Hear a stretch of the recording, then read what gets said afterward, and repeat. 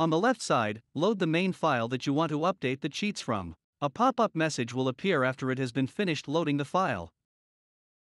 On the right side, load the main file that you want to update the ASM cheats to. You could also use the game update file. Recommended only if the update file is small in size. Paste the old ASM cheats to the left side. Then keep clicking generate until all cheats are updated.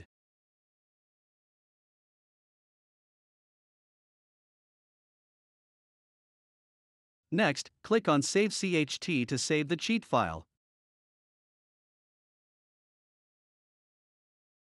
Finally, test the cheats.